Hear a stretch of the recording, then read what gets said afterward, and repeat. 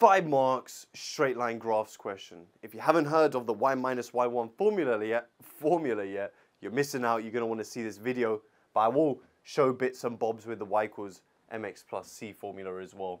So let's take a look at a really difficult question. It says ABC is an isosceles triangle with AB as AC.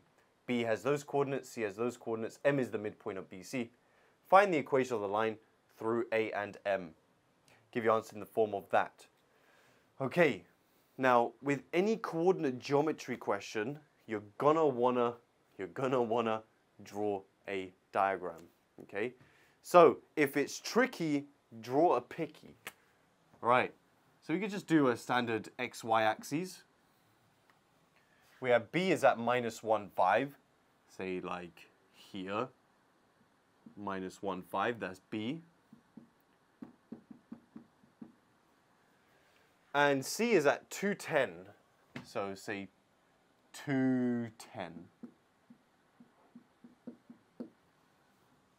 Where would you guys put A so that we have an isosceles triangle where AB is AC? Well, these aren't the uh, sides which are, well, this isn't equal to any other side. It doesn't say BC is equal to any other. So it must mean that the triangle looks something like this. Yes, that these are the same, and we don't really know anything about this. Okay, so I'm going to put A over here somewhere. And we have something like that. Okay, so these lengths are the same. Do we need to know the coordinates of A?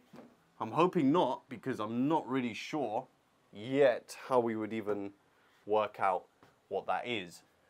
Um, it's probably doable, perhaps, not sure. Actually, I don't even know if it is. Uh, I think it could be anywhere, to be fair. Could be anywhere I could have put it. Uh, but it does say M is the midpoint of BC. M. I'm going to strategically do something because I know what's going to happen now. It wants the equation of the line through A and M, where M is the midpoint. Okay. Now there's a property here you guys need to be familiar with. If I do an isosceles triangle like this, so it's upright, if I draw a line straight down, where this is the middle, what do you notice? 90 degrees. So this question here is just to do with perpendicular lines. Okay? So this is a perpendicular lines question. Right. How do we address this then? We're going to have to work out what M is. And it looks like, yeah, we just don't even need to know what A is. In order to know what the equation of a line is, you just need to know the gradient and you need to know a singular point. I can work out that singular point by working out what M is and just finding the midpoint by finding the midpoint of BC and just working out the gradient of BC and then doing negative reciprocal. So to find M, all we do is we average these two coordinates by adding them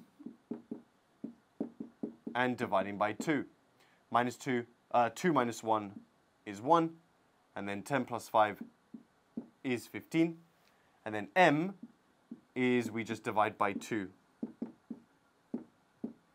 Okay, not a very nice coordinate. We're already getting fractions. Now we need the gradient.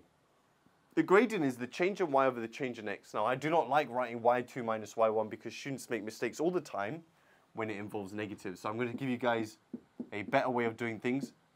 Write the coordinates on top of each other. If you had to do a really long and difficult subtraction, you would use column form, right? Do the same thing here. 2 double minus 1. That's 2 subtract, subtract, so 2 plus 1 is 3. 10 minus 5 is 5.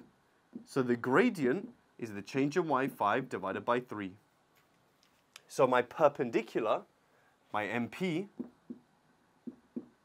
is the negative reciprocal, negative 3 fifths. All right? Now, I'm going to show you guys the two different ways you could do this. All right? So there's the better way, the y minus y1 formula, and the y equals mx plus c formula. If you want to use y equals mx plus c, we're using this gradient and this coordinate. Keep in mind, this is a non-calculator paper question. So using y equals mx plus c, you would say y is the gradient x plus c. Then you need to sub in the coordinates to work out your plus c. You would have 15 over 2 is minus 3 fifths times x, which is 1 half, plus c. Which when you multiply these together, you're going to get 15 over 2 is minus 3 over 10 plus c. And then you're going to add that over. So c is 15 over 2 plus 3 over 10, which here you're going to have to times top bottom by 5. Uh, so you're going to get what? 75 over 10, 3 over 10, which is 78 over 10. Oh, dearie me, which is 39 over 5. So the equation of the line is y is minus 3 fifths x plus 39 over 5. And we're not even done yet because the form they want it in is py plus qx is r, where p, q, and r are integers. These are not integers, these are rational numbers. Integers mean we need to times through by 5. So we're going to times through by 5, get rid of those over 5s. So we get 5y is, that cancels, minus 3x. That cancels plus 39. And then you add the 3x over, because look at the form, py plus qx. So we get 5y plus 3x equals 39. Horrible. Absolutely horrible. Let me show you guys how we could do this using the y minus y1 formula, which is so much cleaner. Okay, the y minus y1 formula, which is super easy to remember, says you do y minus the y coordinate is the gradient, x minus the x coordinate of any line. So in our case, we're going to do y minus the y coordinate, which is 15 over 2, is the gradient, which was minus 3 fifths, x minus the x coordinate, which was a half. The next thing we would do, this is basically the equation of the line. We don't need to work out plus c. This is the generalized form of this. This is specific to knowing the y-intercept, which is why it's a rubbish formula when you don't know the y-intercept. The next thing I'm going to do is I'm going to multiply through by a number to get rid of these denominators, which is 10. So I'm going to times through by 10. Okay? Remember, this is all one term, so we only need to multiply uh, this thing by uh, just this single number by 10. So here we get 10y minus, here 2 goes into 10 5 times. 15 times 5 is 75.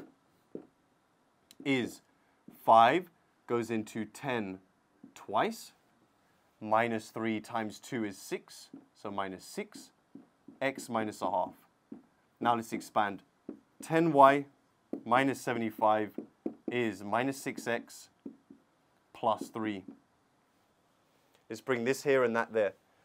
Bringing that here, we get 10y plus 6x equals 75 plus 3, which is 78. Then you just divide everything by 2.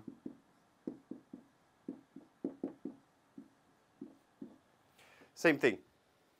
Absolutely horrific working out. This one, clean. So clean, in fact, I could write this big. One, two, three, four, five. One, two, three, four, five, six, seven, eight, nine. There is a clear winner here, guys. So yeah, you choose your own arsenal when it comes to doing these questions, but I recommend use the y minus y1 formula, which I proved, by the way, in one of my other videos. If you haven't seen already, you need to go and check it out. Um, but yeah, guys, if you learned something today, I'd appreciate if you hit the like button, subscribe for more maths content, and if you're interested in my GCSE maths courses, link is in the description for more details. And if you're interested, join the Lun Gang Reddit page so you can submit your own questions and get feedback from the community. I'll see you guys in the next video. Nice.